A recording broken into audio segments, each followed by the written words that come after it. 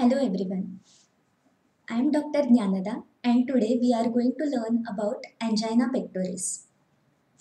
So, uh, let us start with the lecture.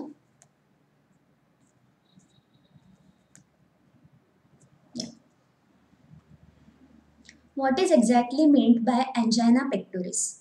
Angina pectoris is chest discomfort and radiating pain as a result of ischemia. What is meant by ischemia? Ischemia forms the basis of angina pectoris. Ischemia is an imbalance in oxygen demand and supply of myocardium. Okay, means uh, as you all know that heart is made up of myocardium. The muscle of the heart is known as myocardium. Heart supplies blood to our whole body, but uh, the heart also requires blood in order to bring about its pumping action and the two coronary arteries which originate from aorta they supply the blood to the myocardium that is the muscle of the heart. And when there is an imbalance in between the oxygen demand of myocardium and the supply of blood to the myocardium that particular condition is termed as ischemia. Okay? Um, and you must remember that there is not just an imbalance of oxygen demand and supply. There is an imbalance also in the nutrient demand and supply of myocardium because when the blood supply to a certain portion of the myocardium is obstructed, then that portion remains devoid of oxygen as well as nutrients. Plus, one more thing happens when the blood supply to that particular area is hampered. That is, uh, there is decreased washout of the metabolic waste products from that portion of myocardium and so, if the ischemia continues for a certain duration of time, then it may lead to death of that myocardium, which is being devoid of uh, blood supply.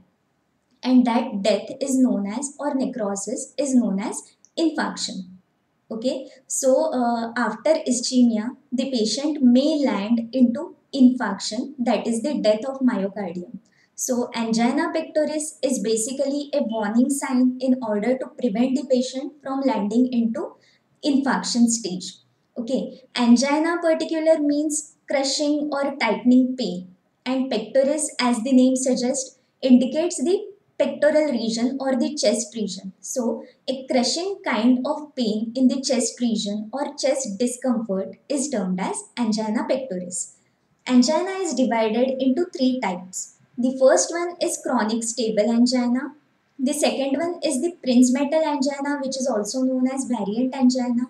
And the third one is unstable angina. Okay. First of all, let's see what is meant by ischemic heart diseases. Ischemic heart diseases are the heart diseases or the cardiac diseases which are as a result of ischemia means the basic underlying pathology in all these diseases is ischemia it consists of angina, it consists of myocardial infarction, and it also consists of sudden cardiac death.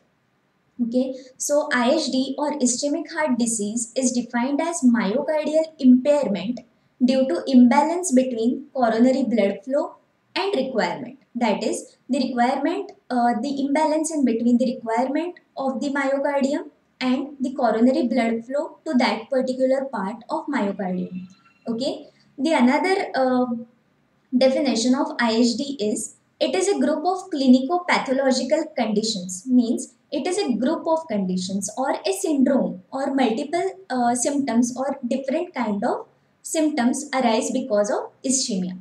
So it is a group of clinico-pathological conditions which occur due to imbalance in between oxygen and nutrient supply and demand of myocardium okay so this is the basic concept of ischemic heart diseases out of which one of the IHD or ischemic heart disease is angina pectoris which we are going to study in detail today. Okay so uh, the main reason or the main underlying cause for ischemia is most of the times atheromatous plaque you must have heard about atherosclerosis which is a condition in which there is deposition of plaque that is fibrofatty material in the intima that is the innermost layer of arteries. Okay, uh, or you may say in this case the coronary arteries. The plaques are basically of two types. They could be stable plaques or they could be unstable or vulnerable plaques. So what is the exact difference in between stable and unstable or vulnerable plaques? The stable plaque uh, is formed because of deposition of fibrofatty material in the intima of coronary arteries. But it has got a thick fibrous cap. It consists of smooth muscle cells and collagen fibers. But as you can see, it is thick in nature okay it consists of less amount of foam cells that is lipid containing cells it consists of less number of macrophages and because of that this particular plaque is stable okay it is not um, vulnerable to any kind of injury or any kind of fissuring or rupture. Okay so in that way it is known as a stable plaque. It uh, it is stable and that's why it obstructs the lumen of the coronary artery but stably you can say. Okay it is not undergoing any dynamic changes and that's why it is termed as stable plaque as against that the vulnerable or unstable plaques consist of more amount of lipid cells or foam cells they consist of more amount of macrophages which are actively engaged in eating up the proteinaceous material and they consist of a thin fibrous cap. Okay, you can see here there is a thick fibrous cap but in this case it is a thin fibrous cap. So they are more vulnerable to injuries and, uh, may undergo rupture or fissuring easily. And whenever these plaques undergo rupture due to uh, blood flow or because of the flow of blood with the pressure flowing through it so when they undergo any kind of injury, what happens? This inside lipid core, which is thrombogenic in nature, means which is actively engaged in platelet aggregation, it gets exposed. And as soon as this um, part, that is the lipid core of this particular plaque gets exposed, the platelet aggregation begins. That is, platelets start aggregating or accumulating over here. And due to platelet aggregation and fibrin formation there is a thrombus formation uh, in this particular kind of plaque after injury. Okay? So it is a uh, it is a natural response of the body. But because of that what happens? There is a thrombus formation. And this thrombus could actually occlude the complete lumen of coronary artery stopping the complete blood supply to the further part of myocardium where this particular coronary artery is supplying. And what will happen if the complete blood flow to a certain part of the myocardium is stopped? It will, uh, it will remain devoid of uh, oxygen and nutrients. Furthermore, uh, the metabolic wastes which are which would be available in that part of myocardium will not be washed out. And because of that if this occlusion continues for a certain duration of time, that further myocardium may land into necrosis or infarction stage.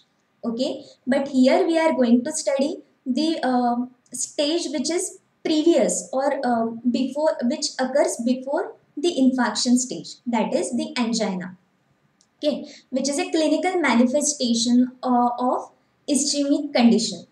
Okay this particular uh, myocardial muscle which lies further in the um, further to that of the blood supply of that particular coronary artery it suffers from ischemia and that ischemia is presented or manifested as angina. Okay this is another picture depicting the normal coronary artery and the uh, lipid deposit or the plaque deposition in the artery which is you can see the obstructing or narrowing the lumen of the coronary artery. Okay. Now let us see one by one the types of angina. The first type is chronic stable angina. Okay, as the name suggests, it has got stable plaque as the basic underlying pathology. It develops when more than 70% of the luminal diameter of coronary artery is reduced. Now see, when more than 70% of the luminal diameter is reduced, uh, the heart can work well in uh, whatever 25 to 30% of blood supply it is getting but at rest. Whenever the person undergoes any kind of exertion or exercise, immediately what happens the blood supply that is the 25 to 30% of blood supply that is the that myocardium is receiving it becomes uh, insufficient means the demand of that myocardium is more but the supply gets decreased. So what is what is happening over here? There is an imbalance in between the oxygen or nutrient demand of that myocardium as against the supply of uh, the blood or the oxygen and nutrients. So um, when the lumen is obstructed up to 70% and this type of person undergoes some kind of exertional activity or emotional crisis then uh, the blood supply received is decreased. Means uh, that is not enough in order to carry out the function of the heart. Okay. So what are the clinical features of chronic stable angina? There is a retrosternal chest pain. The person cannot pinpoint with the fingertip that I am feeling the pain here or here. There is a vague kind of retrosternal chest pain there is tightness in the chest or discomfort which is radiating. The pain radiates to left or right shoulder, neck, jaw and even arms. Okay, and these symptoms are associated with diaphoresis that is excessive sweating, nausea, anxiety. These um, episodes of chronic stable angina they are precipitated by exertion, emotional crisis and eating. So whenever a person is exerting or exercising, the demand of peripheral tissues increases. It goes up and in order to supply more blood to the periphery, heart starts pumping at a higher pace and with extra force. And in order to pump with higher pace and extra force, it is also requiring some more amount of nutrients and oxygen in order to bring out that function. And as uh, during the exertion, the heart rate increases, and whenever the heart rate increases the uh, phase which is affected to greater extent is the diastole. The systole becomes more that is the cardiac output is increased the heart rate is increased but the diastole the phase of diastole it is decreased so there is less filling of the heart. And you must remember that whenever the heart undergoes systole that is contraction at that time the uh, coronary arteries further get constricted to a greater extent. And uh, because of that, the blood supply to myocardium itself is decreased during systole. So, the main phase when uh, heart is receiving blood is the diastole. And when uh, a person undergoes exertion plus there is more than 70% luminal obstruction, then what happens? The uh, heart muscle or the myocardium is made devoid of oxygen and nutrient supply. That is, it doesn't uh, get the blood in that particular amount. And so there is ischemia of that heart muscle which presents in the form of chronic stable angina. It, uh, the same thing happens in emotional crisis because the SNS is activated, heart rate is increased and due to eating, uh, because of overeating you can say, whenever a person overeats, the blood flow gets directed towards the GIT that is gastrointestinal system and gets engaged in the, uh, carrying out the process of digestion and that's why whatever cardiac output is coming out it is not enough uh, to provide supply to the heart muscle itself. And because of that the patient may land into chronic stable angina. The episode of chronic stable angina is less than 10 to 15 minutes. And you must remember that is that it is relieved by rest or if we immediately give him nitrates which are vasodilators. Um, it is depicted by Levine sign that is clutching of fist over sternum. The pain that is retrosternal pain which is a vague kind of tightness discomfort in the pain uh, the patient shows like this. It is termed as Levine sign. Okay and the ECG shows ST depression. Levine sign is important from point of view of MCQs. Okay. Now the unstable angina. This is the uh, as the name suggests it is the cause or it is the result I'm sorry, it is the result of unstable plaque. The coronary atherosclerosis with superimposed thrombus on ruptured plaque. The plaque gets ruptured which is having thin cap, the unstable plaque, it gets ruptured and uh, there is platelet aggregation, there is thrombus formation and because of that superimposed thrombus formation, there is complete occlusion of the coronary artery and it leads to ischemia. But you must remember that as against stable angina, the pain in this particular unstable angina is accelerating in pattern. That is, its frequency is increased, its duration is also increased. Uh, we have seen that this stable angina lasts for less than 10 to 15 minutes. But in case of unstable angina, the pain continues Okay, it goes on increasing in frequency as well as duration. It can be caused with minimal exertion or even at rest. This is very important. Unstable angina can occur even at rest. Angina may occur post MI or post a procedure like angioplasty or CABG. And this particular pain of unstable angina is not relieved by rest or nitrates. Okay, this is the thing which uh, differentiates it from stable angina. The pain lasts, if the pain lasts for 20 to 30 minutes, then that person may land into infarction. So this is a very crucial period. We must uh, immediately diagnose that this is a case of unstable angina and if we treat the patient in these 20 to 30 minutes, we can prevent that patient from landing into infarction. Okay, there is a minor line of demarcation in between unstable angina and myocardial infarction. So these are the 20 to 30 crucial minutes.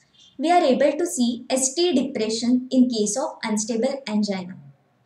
Okay.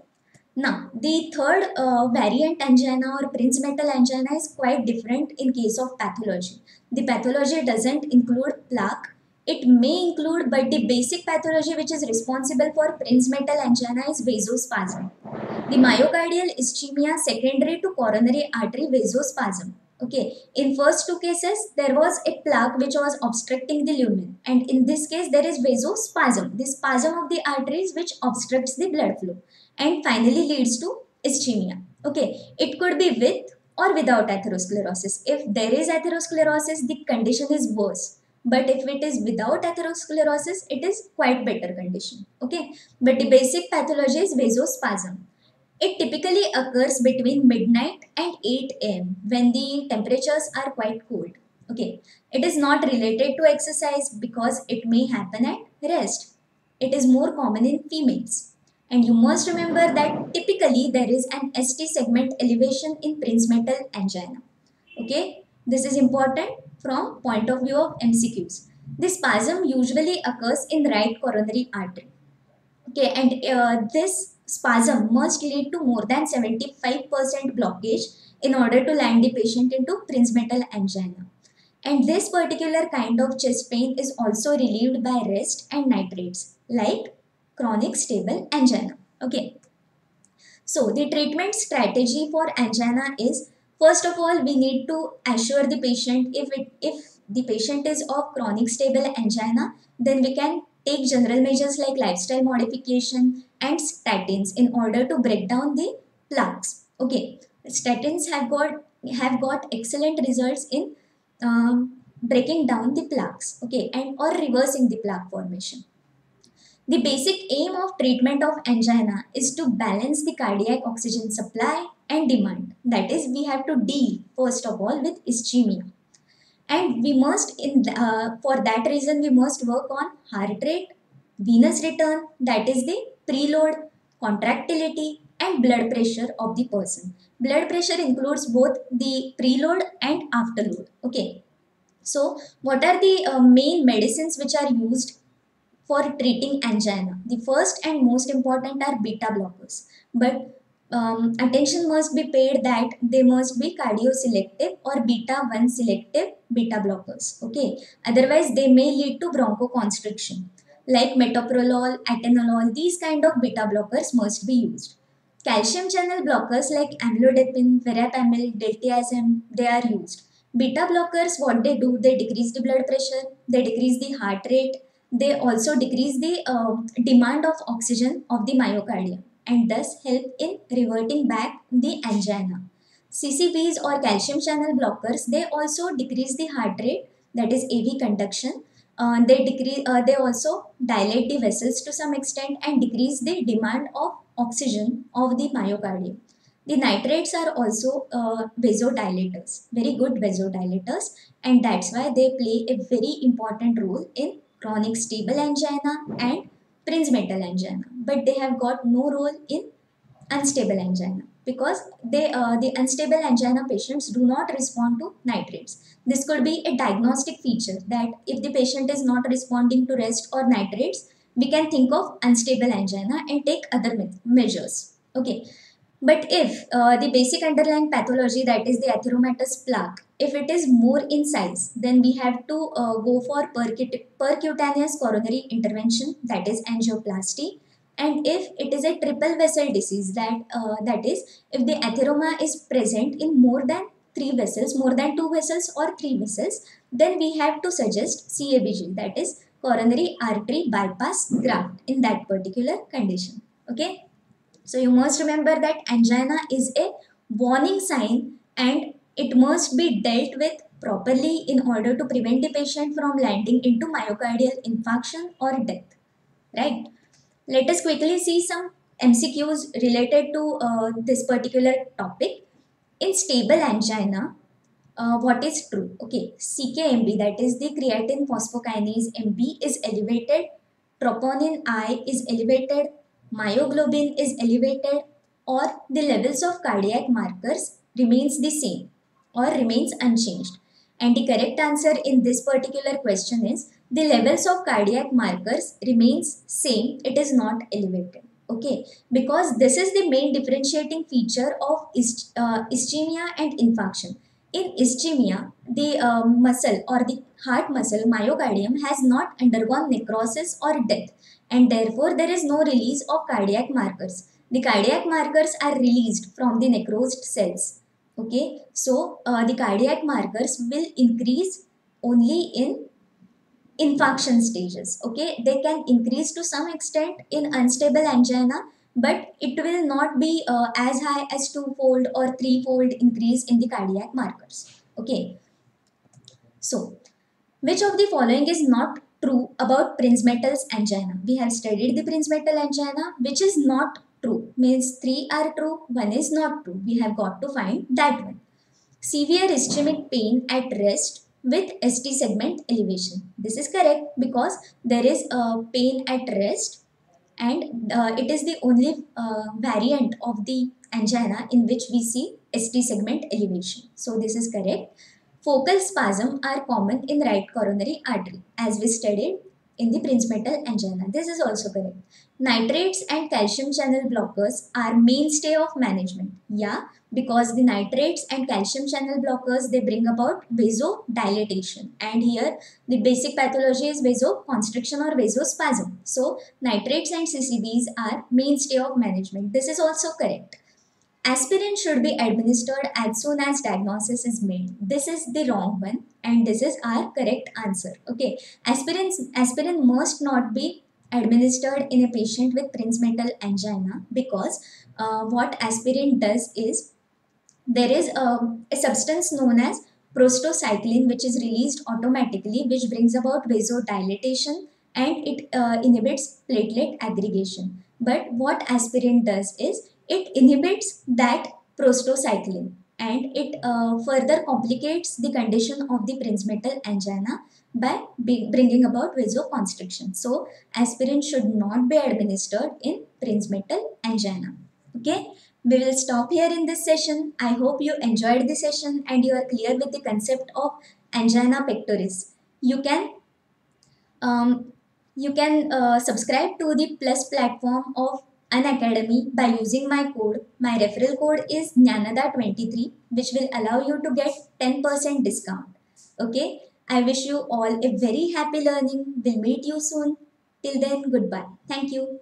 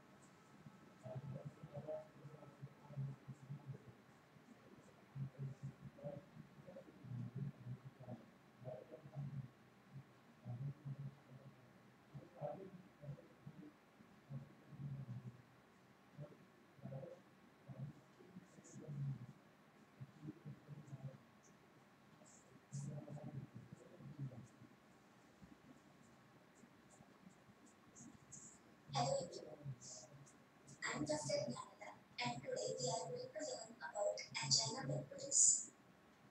So uh, let us start